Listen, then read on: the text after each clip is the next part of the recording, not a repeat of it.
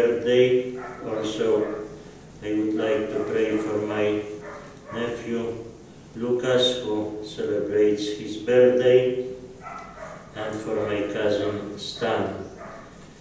In the beginning, let us acknowledge our sins and so prepare ourselves to celebrate the sacred mysteries.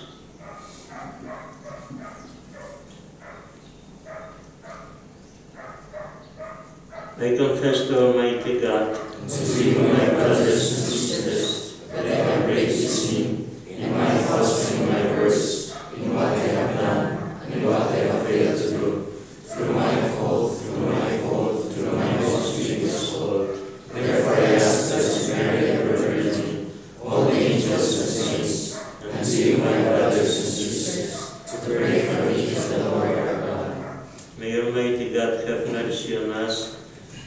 As our sins and bring us to everlasting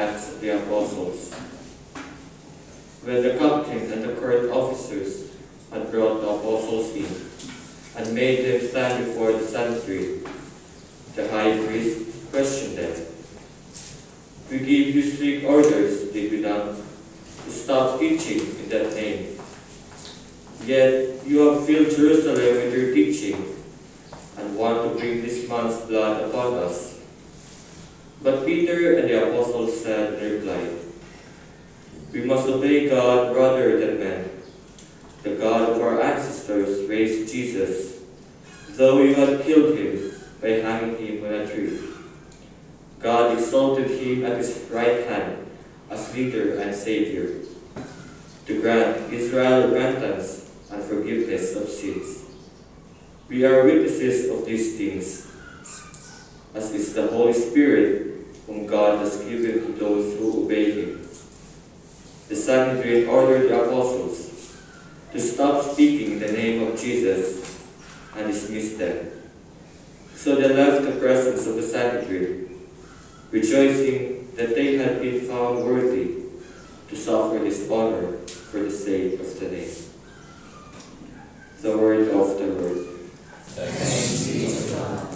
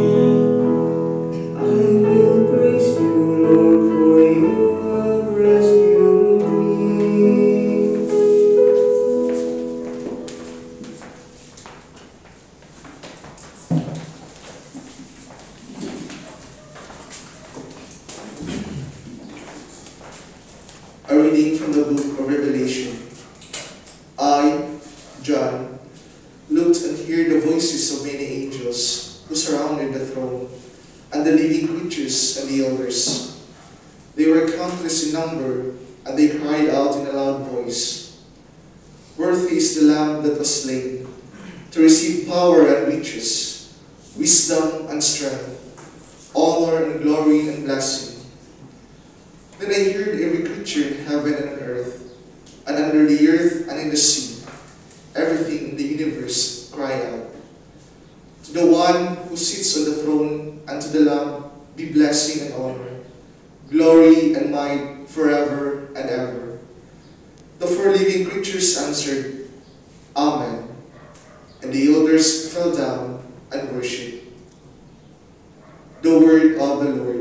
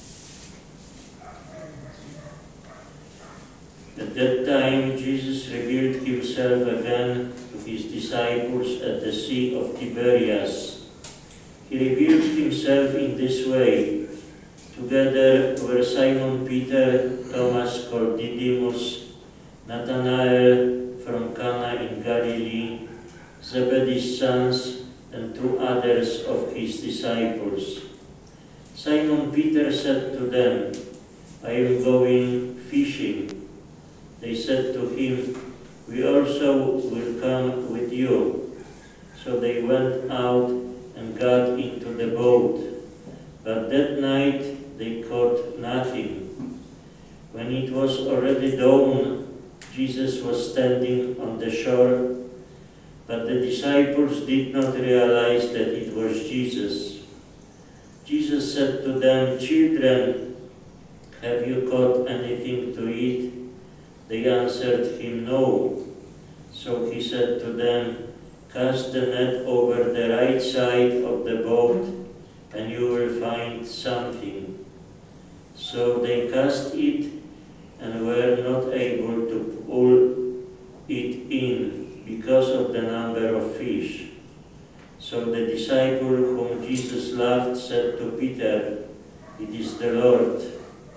When Simon Peter heard that it was the Lord, he tucked in his garment, for he was lightly clad, and jumped into the sea. The other disciples came in the boat, for they were not far from shore, only about a hundred yards, dragging the net with the fish.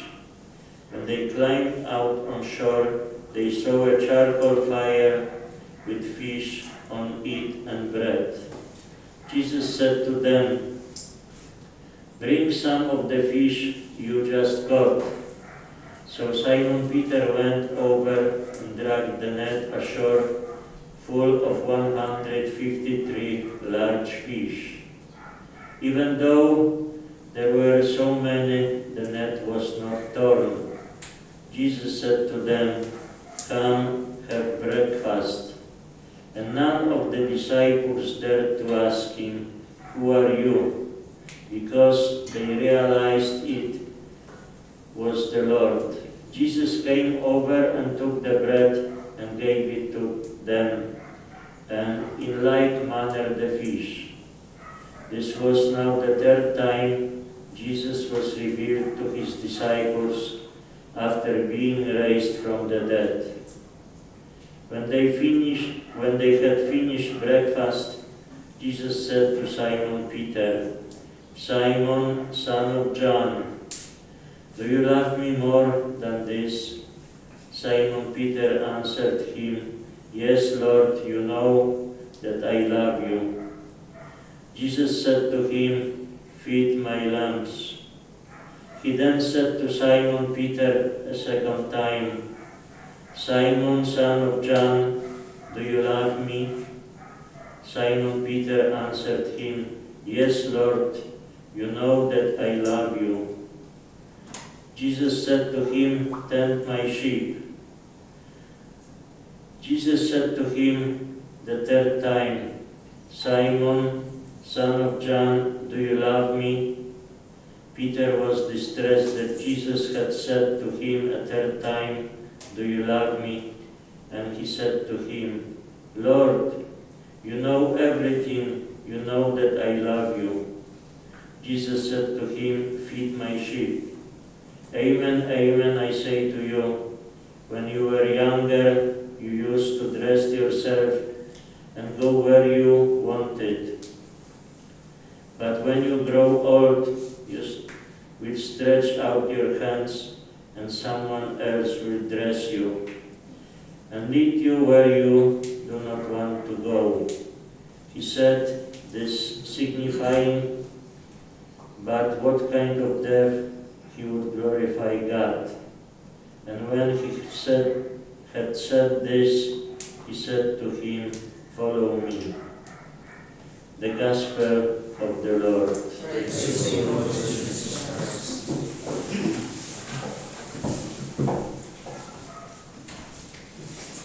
Dear brothers and sisters, each of the Gospels has different version of the events and grief Jesus' followers experienced after their beloved teacher died. The incident reported in today's Gospel occurs just a few days after Jesus died on the cross. His followers who had made such great promises of lo- loyalty had fled, fearing that they were in danger. They had gone back to their native Galilee. In the version we just heard from the Gospel of John, the disciples have already seen the resurrected Christ not once but twice. First, when he appeared to the disciples on Easter night, and then when he came again a week later when Thomas was with them. And yet they don't know what to do. I am going fishing, says Simon Peter. That seems to be a response to the confusion and frustration with the way the events were unfolding after the crucifixion and death of Jesus. But after a whole night's fishing, they caught nothing, not even one fish found its way into their nets. And accepting the suggestion of the stranger, they were overwhelmed at the size of the catch. The Lord has prepared a meal for them and invites them to bring some of their catch. They may have caught the fish, but it was only with the help of the Lord. Without me, you can do nothing. There are all the elements of Eucharist here. They are in the presence of Jesus, the Word of God, and listening to Him. Come and have breakfast. The last meal they had shared together, it was before the crucifixion, during the Last Supper, where Jesus lovingly served them by washing their feet. And now is time for breakfast, a sign of new day. The new era of risen life has dawned. Come and have breakfast is a reminiscent of take all of you and eat it. He and they are sharing what they have and eating in unity and community. A simple image of the church. As we have heard, they do not ask, Who are you? knowing that it was the Lord. The risen Lord does not look as he used to look before, for now he has many faces. He can have the face of our friend, of our enemies, of our neighbors, and so on. He is especially to be found and recognized in the pure, in the poor, in the exploited and weak, and the foreigner. The beloved disciple, traditionally identified as John, was the first to recognize the Lord in the stranger and tell the others. We too must help others recognize the presence of the Lord at work in their lives, and this is evangelization. The risen Lord comes to his disciples just after daybreak. The dark hours and fruitless labor of the night time have given to the dawn a new day, offering new hopes, new possibilities, new chances. Darkness does not win. The light always prevails. The arrival of Jesus is like the dawn. He is the light that overcomes all darkness. And after breakfast, Jesus takes Peter aside for a personal conversation. The Lord knows that it is not the lack of love that Peter went back to fishing. Rather, he knew that Peter feels unworthy to serve the one whom he three times denied knowing. So Jesus mercifully and tenderly gives Peter an opportunity to reverse his three denials by three renewed affirmations. And then, after each one of them, Jesus says, Feed my lambs, tend my sheep, feed my sheep. Jesus renews Peter's commission three times, and now Peter is not a shepherd, is a shepherd, not a fisherman. The Lord believes in Peter's love enough to entrust to him his sheep, the flock of the church. Dear brothers and sisters, we all fall short from time to time as we try to follow our Lord. Our weaknesses and our sins hinder us from loving and obeying Jesus as we should.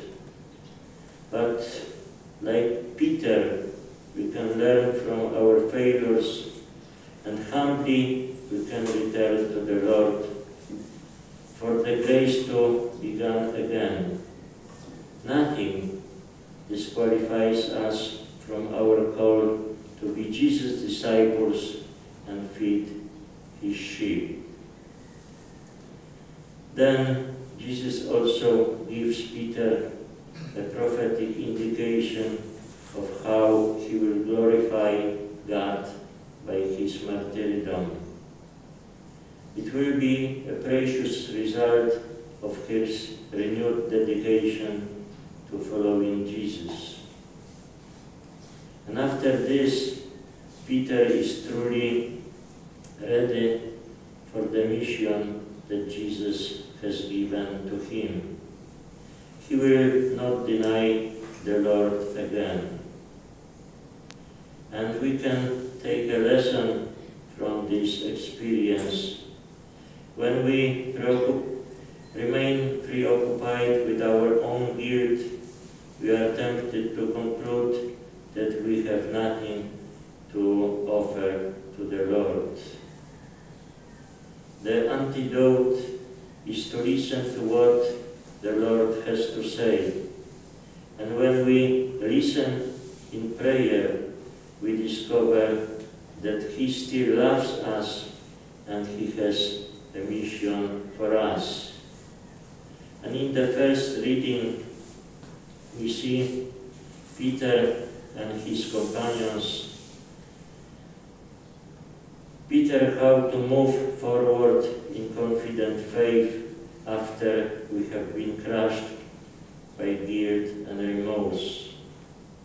With absolute trust in God, he and other apostles have gone forth and have filled Jerusalem with their teaching. It was a very dangerous time to speak in Jesus' name, which they have been explicitly ordered not to do, but they were willing to risk their lives, overjoyed with the message of Jesus is our salvation. No human authority or threat or danger could stop Peter and his companions because they knew that the Lord loves them. He would, they would rather die than betray him again.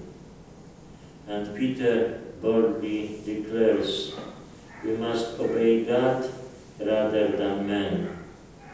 He is able to say this and to live by this conviction because he is not longer relying on himself, on his personal power, of his human nature.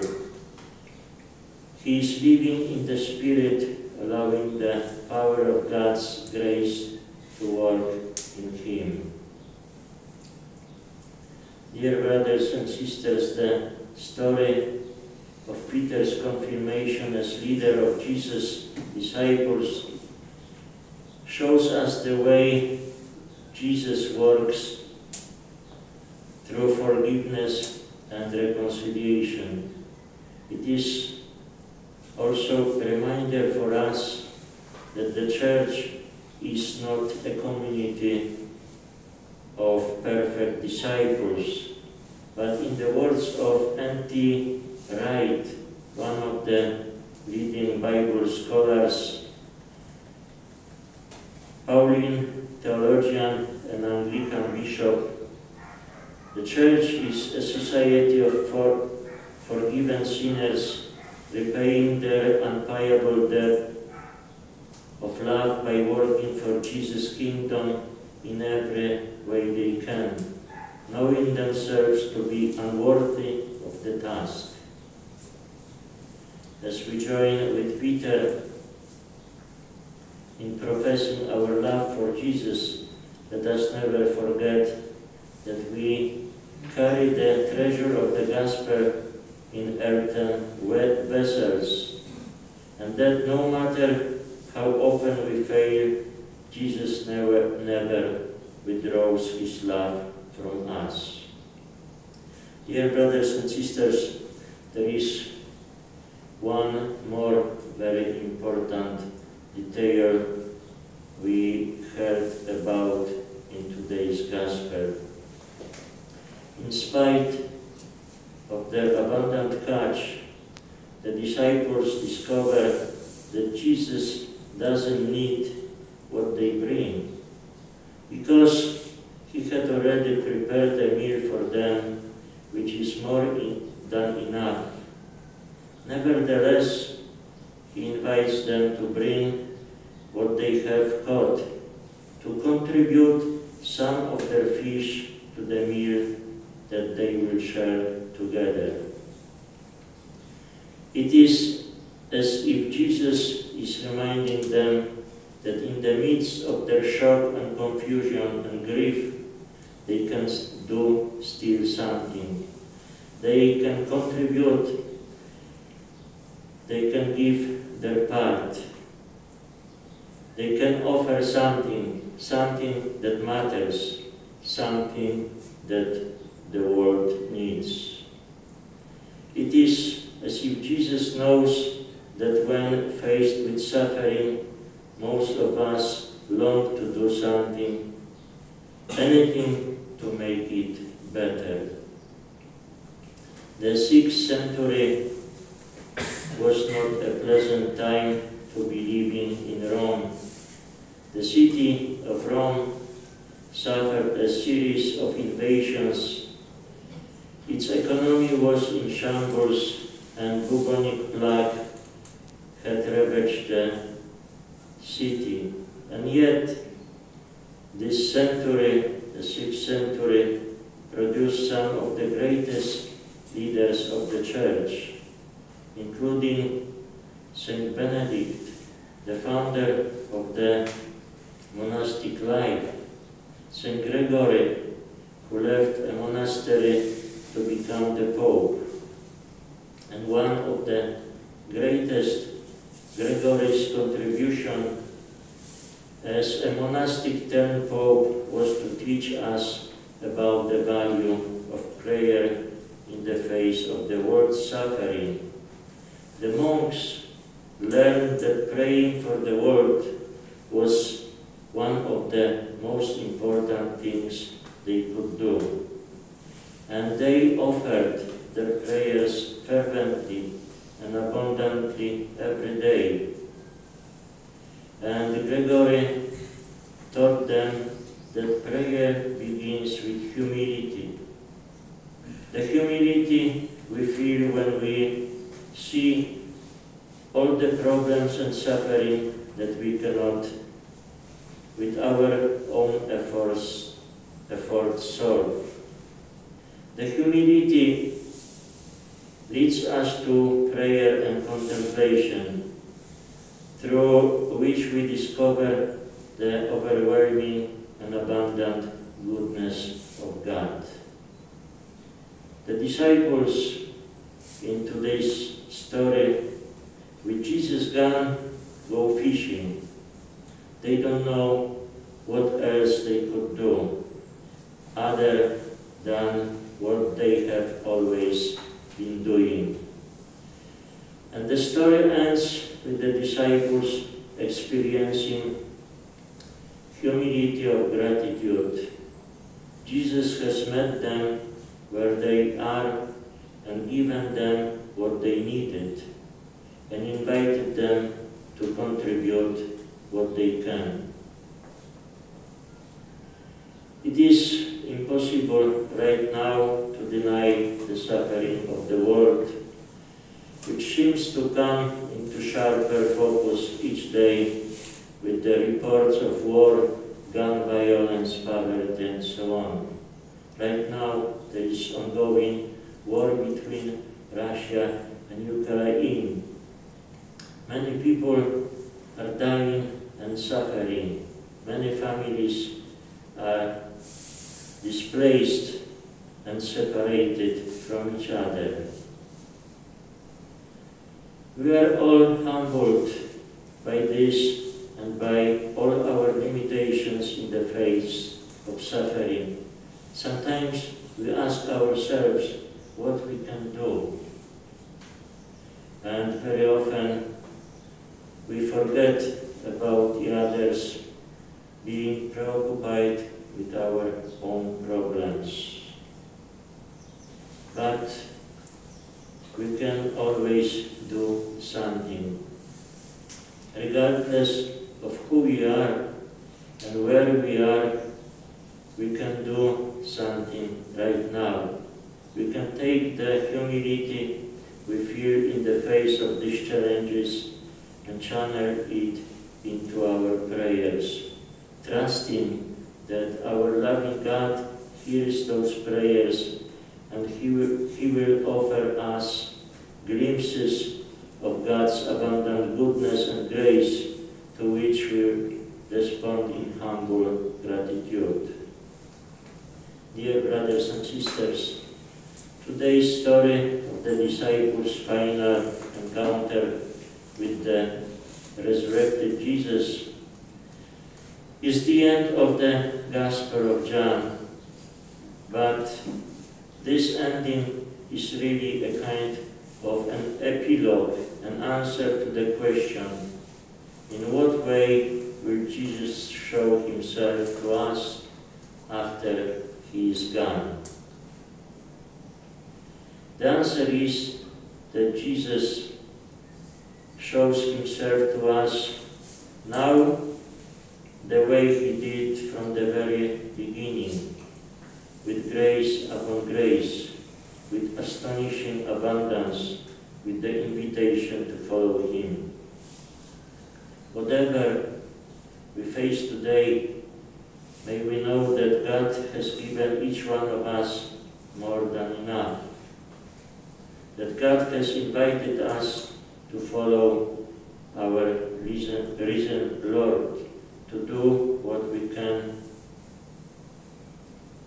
to relieve suffering, to counter injustice, to reveal God's abundant and steadfast love to all the world. Amen. Amen.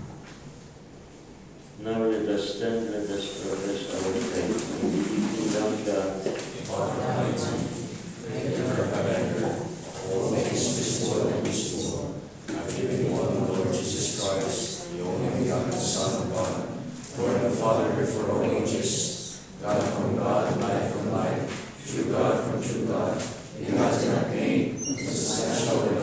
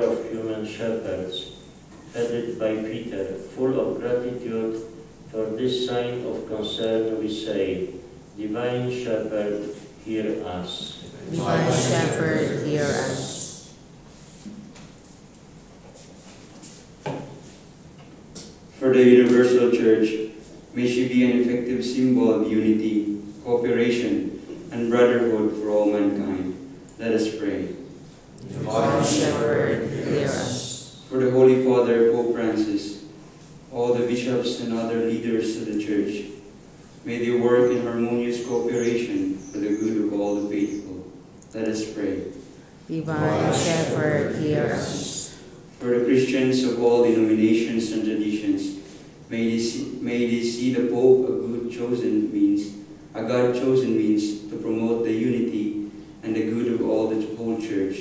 Let us pray. Divine Shepherd, hear us.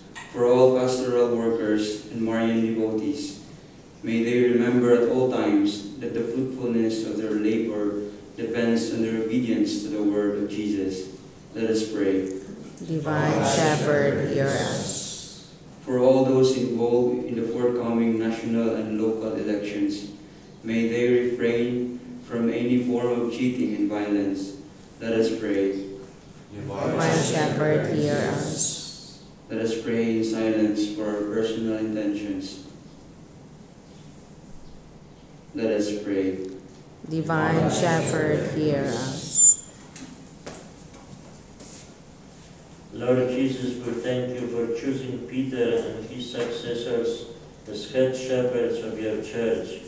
May we experience in them your shepherding care, leading us to the eternal life where you live and care forever and ever. Amen. Pray,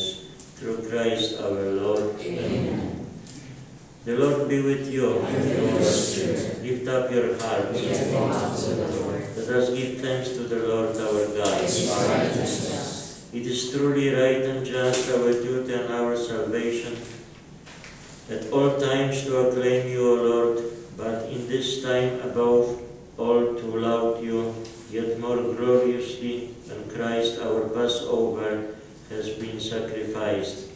Through him the children of light rise to eternal life, and the halls of the heavenly kingdom are thrown open to the faithful, for the death is our ransom from death, and is his rising, the life of all has risen. Therefore, overcome with paschal joy, every land, every people exalts in your praise. And even the heavenly powers with angelic hosts sing together the unending hymn of your glory as they acclaim.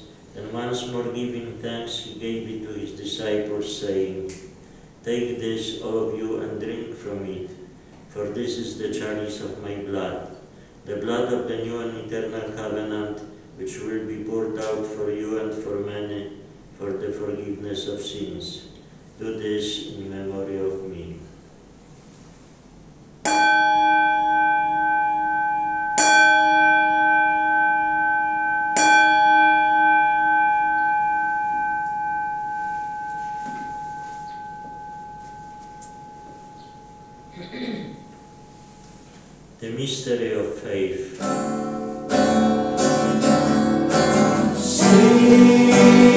Us, Savior of the world, for by your cross and resurrection you